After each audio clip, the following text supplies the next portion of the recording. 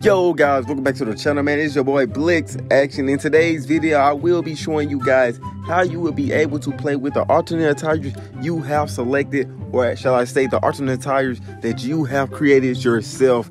Yes, this video will show you guys all of this. So make sure you hit that sub button and like the video and let's get straight into it. So first thing you want to do is head over to your universe mode.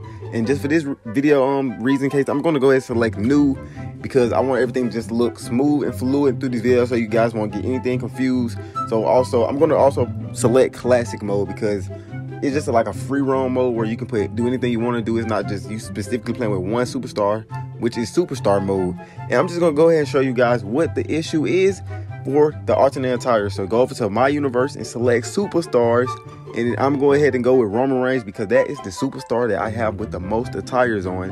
So I'm going to scroll all the way down until I get to my superstars. Or you can it to any superstars you want.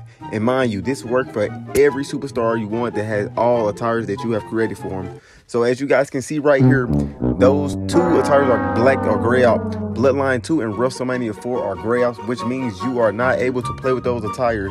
But here's the thing, what you can do to stop all of that from happening. So I'm just going to back up out of all of this right here and go to tonight's show and press edit matches. You're going to press edit matches so it will work properly.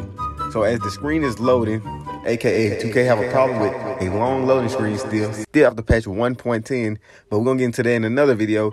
And you can also select custom participant or free edit the matchup. For this on purposes only, I'm gonna go ahead and go with custom match because I have to select Roman Reigns to change his clothing.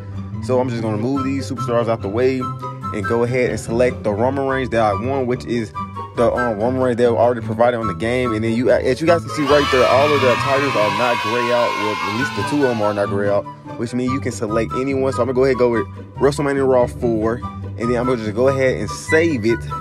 And then after that, I'm going to select Biggie just to get him out the way and press accept. And as you guys can now see, as we are loading, Bruh. we finally get to play with that Roman Reigns attire. There you go, right there. Look, the greatest on a different level. There you go, guys. So you get to play with that Roman Reigns. So if you like the video, man, make sure you subscribe and hit that like button. I'm out. Peace.